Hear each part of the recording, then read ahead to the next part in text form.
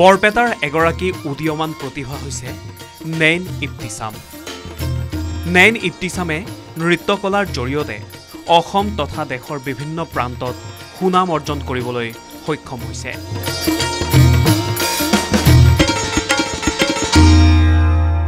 Actually মোৰ মায়ে মোক ছিংগিঙত দিম বুলি ভাবিছিলে। পিছত আকৌ পাপাই দীপাঞ্জলি মেমৰ তাত দিলে। ফৰ্টিন ইয়াৰ্ছ হ'ল মই দীপাঞ্জলি মেমৰ তাত শিকি আছোঁ। ক্লাছ টুৰে পৰাই মই তেওঁ তাতে মানে ট্ৰেইনিং লৈ আছোঁ ডান্সৰ আমাৰ বৰপেটাতে মই ফাৰ্ষ্ট নাচিছোঁ প্ৰথমতে ষ্টাৰ্টিং মোৰ বৰপেটাৰ পৰাই। আৰু মিলন মন্দিৰত ডান্স কম্পিটিশ্যন হৈছিলে তেতিয়া মই প্ৰাইজ পাইছিলোঁ আৰু হাউলিত পাইছোঁ মই ফাৰ্ষ্ট প্ৰাইজ আৰু ইয়াতে বৰপেটাতো পাইছোঁ ফাৰ্ষ্ট প্ৰাইজ পাইছিলোঁ ভূপেন্দ্ৰ সংগীতত। উত্তৰ বৰপেটাৰ ৰিংকু আহমেদৰ কন্যা নেইন ইপ্তিছামে নৃত্যৰ প্ৰাথমিক শিক্ষা মাতৃৰ পৰা লাভ কৰিছিল। পৰৱৰ্তী সময়ত বৰপেটাৰ দীপাঞ্জলি ডান্স একাডেমীত নৃত্যৰ আনুষ্ঠানিক প্ৰশিক্ষণ গ্ৰহণ কৰে।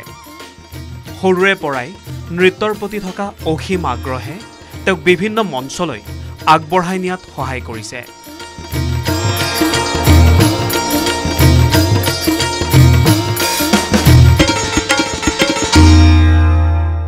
গুৱাহাটীত মই ফাৰ্ষ্ট টু থাউজেণ্ড ছেভেণ্টিনত পাৰফৰ্ম কৰিছিলোঁ তাত মই থাৰ্ড প্ৰাইজ পাইছিলোঁ আৰু আৰু ৰিচেণ্টলি মই ষ্টেট লেভেল ফ'ক ডান্স কম্পিটিশ্যনত মই অল আছামৰ ভিতৰত মই থাৰ্ড পাবলৈ সক্ষম হৈছোঁ।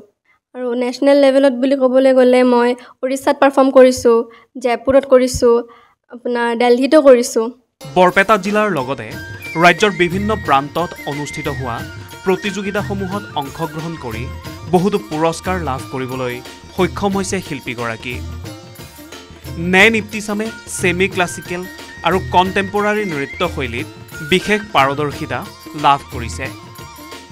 ইয়াৰ উপৰিও দুহেজাৰ ওঠৰ চনত বাহাৰুল ইছলামৰ পৰিচালিত দ্য ছেভেন ষ্ট্ৰিং নামৰ চলচ্চিত্ৰখনত মুখ্য চৰিত্ৰৰ বাল্যকালৰ ভূমিকাত অভিনয় কৰি দৰ্শকৰ প্ৰশংসা বুটলিবলৈ সক্ষম হৈছে। উল্লেখযোগ্য যে চলচ্চিত্ৰখনে কেইবাটাও ৰাষ্ট্ৰীয় আৰু আন্তঃৰাষ্ট্ৰীয় পৰ্যায়ৰ পুৰস্কাৰ লাভ কৰিছে। নৃত্যশিল্পী নেইন ইপ্তিছাম কেৱল অসমতেই নহয় ভাৰতৰ বিভিন্ন ৰাজ্যত অনুষ্ঠিত হোৱা সাংস্কৃতিক অনুষ্ঠানসমূহতো অংশগ্ৰহণ কৰি নিজৰ লগতে নিজৰ ঠাইলৈ সুনাম কঢ়িয়াই আনিবলৈ সক্ষম হৈছে। ডেন্সৰ ক্ষেত্ৰত ইনস্পিৰেশ্যন ক'বলৈ গ'লে মোৰ গুৰুৱে মোৰ ইনস্পিৰেশ্যন আৰু মোৰ মায়ে মোক যথেষ্টখিনি মটিভেট কৰে সকলো ক্ষেত্ৰতে। তেওঁ মোৰ লগত টুৱেণ্টি ফ'ৰ ইণ্টু ছেভেন লাগি থাকে। মোৰ ড্ৰেছৰ পৰা মেকআপৰ পৰা ইত্যাদি কৰি কোনটো ছঙত পাৰফৰ্ম কৰিম কেনেকৈ পাৰফৰ্ম কৰিম মোৰ টিচাৰৰ লগত তেওঁ ডিছকাছ কৰি থাকে কোনটো গানত পাৰফৰ্ম কৰিলে ভাল হ'ব। তেওঁ মোক যথেষ্টখিনি ছাপৰ্ট কৰিছে। গোটেইকেইটা ষ্টাইলে পাৰফৰ্ম কৰিছোঁ যিহেতু আমাৰ স্কুলত গোটেইকেইটা ষ্টাইলে শিকাইছে মেমে সৰুৰ পৰাই। কিন্তু মোৰ ছেমি ক্লাছিকেল আৰু কণ্টেম্পৰেৰী ষ্টাইলটো মোৰ কমফৰ্ট জ'ন এই দুটা ষ্টাইলত পাৰফৰ্ম কৰি মই বেছি ভাল পাওঁ। ইণ্ডিয়ান কণ্টেম্পৰেৰী হওক আপোনাৰ ছেমি ক্লাছিকেল হওক। টু থাউজেণ্ড এইটিনত মই এখন অসমীয়া চিনেমাত এক্টিং কৰিবলৈ সুযোগ পাইছিলোঁ।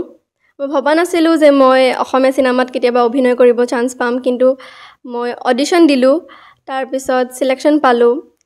লিড এক্ট্ৰেছৰ সৰু মানে কি কয় চাইল্ডহুড কেৰেক্টাৰটো মই প্লে' কৰিছিলোঁ। বৰপেটাৰ পৰা জিলিয়াছ দাসৰ ৰিপৰ্ট লোকেল এইটিন